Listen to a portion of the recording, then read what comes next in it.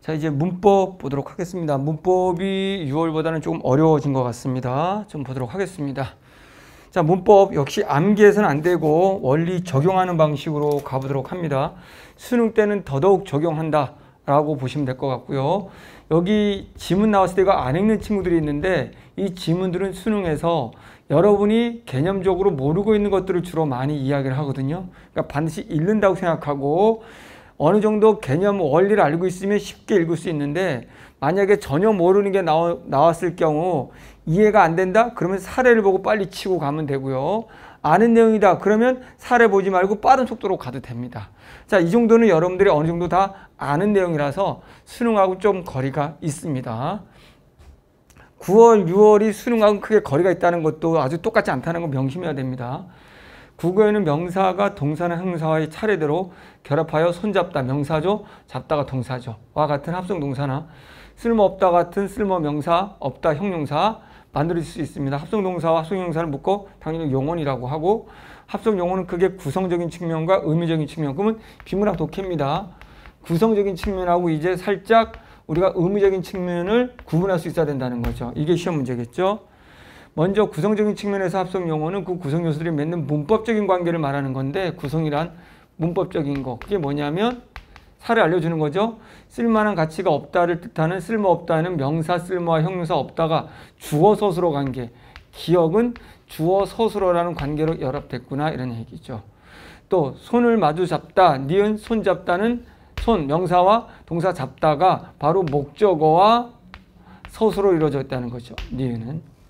그리고 자랑 삼다에서는 자랑과 삼다가 부사어와 서술어 자랑으로 삼다 뽐낼 만한 자랑으로 삼다 그러면 이거는 부사어와 어, 서술어로 돼 있다 이거죠. 그럼 바로 우리가 기억, 니은, 디귿으로 가도 됩니다. 어. 자, 그러면 기억. 나는 시장에서 책값을 값싸게, 값, 값이 싸다. 그러면 일단은 동일한 유형, 구성적인 측면이니까 이것만 보면 되는 거죠. 그러면 쓸모가 없다고 동일하겠죠. 자, 눈이 부시다죠. 그럼 눈이 부시다니까 쓸모가 없다 주어서로 됐죠. 누나는 나를 보자마자 뒤돌아 앉았다라고 뒤로 돌아 앉다죠. 뒤로 그럼 부사가 되겠죠. 그러면 손을 잡다. 이거는 부사와 서술어 관계고 니은은 손을 목적어와 서술어 관계죠. 답은 3번. 반세워는 밤을 세워가 되는 거죠. 목적어 손을 잡다 목적어 서술어 같은 구조죠. 여기서는 어 앞장서다 앞에 서서죠. 앞에라는 부사어 자랑으로 삼다라는 부사어 관계 됐죠. 바로 보고 바로 풉니다. 그럼 나머지 문제는 이제 여기서 나오겠죠. 의미적인 측면에서. 이렇게 빠르게 치고 가면 됩니다. 이런 거에서는 오히려 제시문 주어진 거 시간 줄여야 됩니다. 의미적 측면에서 합성 용사는 그 구성 요소의 의미를 그대로 유지하는 경우와 의미를 벗어나는 경우가 있다. 다시 의미를 유지하는 경우와 의미에서 벗어나는 경우가 있다. 언제? 가령 쓸모없다는 구성 요소인 쓸모와 없다 의미를 그대로 유지한다.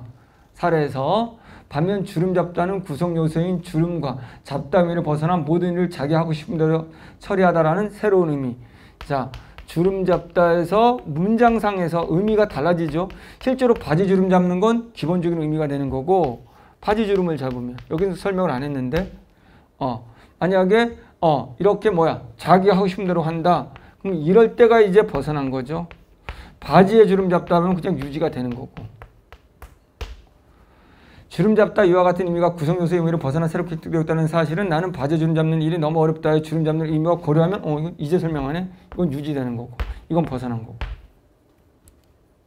그런데 구성 요소의 의미를 벗어나 새로운 의미를 획득한 합성 용어 중에는 필수 부사를 요구하는 경우가 있다. 어, 이 벗어난 경우에는 이 경우에는 필수 부사를 요구하는 경우가 있다. 지금 없는 경우도 있는데 있는 경우도 있다지. 100% 있다가 아니죠. 자, 예를 들어 봅시다. 불타다가 나는 지금 학구열에 불타고 있다 해서 같이 의욕이나 정열에 끌어오다라는 새로운 의미를 획득한 거죠. 진짜 불이 타는 게 아니니까 학구열에 라고는 부사어가 들어온 거죠. 불타고라는 새로운 의미. 이러한 사실은 불타다가 장작이 지금 불타고 있다 해서 같이 그럼 이럴 경우는 장작이 지금 불타 불타다인데 장작이 불타니까 의미 바뀐 게 아닌 거죠.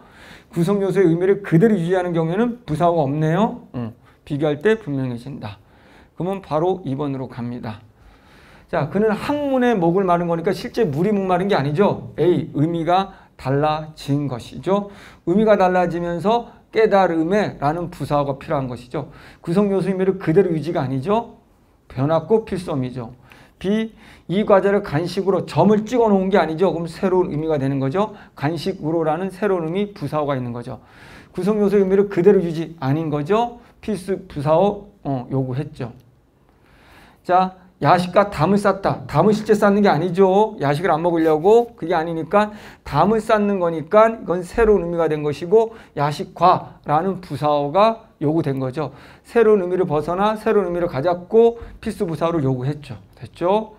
자, 실력이 아직 녹슬지 않았다죠. 그러면 녹슬다라는 건 실제로 쇠 같은 게 녹이 슬어야 되는 건데 실력이 녹슬지 않았으니까 의미가 변한 것이고 여기에는 그런데 아직 이라는 부사어, 필수 부사어, 구성미를 벗어난 새로운 의미를 획득했고 필수 부사어를 요구한다 라고 했어요. 필수 부사어 그러면 봅시다. 그녀는 노래는 실력이 어 녹슬지 않았다야. 아직을 빼봐서요. 아직도 원래는 이게 부사어란 말이죠. 그러나 문제 잘 냈어요. 아직은 빼도 상관이 없기 때문에 필수 부사어라는 건 빼면 절대 안 되는 거거든요.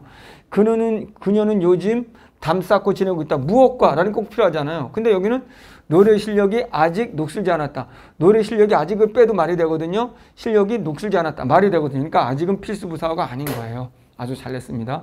근데 부사 온 거예요. 자, 여기 ABCD2는 자, 마침내 이론에 눈뜨게 되었다. 눈을 뜨는 건 실제 뭔가 아침에 눈을 뜨는 게 아니라 이제 뭔가 새로운 깨달음을 얻은 거죠. 그럼 어디에 이론에 라는 의미가 달라졌고 부사어로 필요하죠. 새로운 의미를 획득했고 필수 부사어로 요구하지 않는다가 아니라 어디 어디에 눈을 떴는지 필수어를 요구하죠. 이론에라는. 그래서 아주 빠르게 두 문제를 끝냈습니다.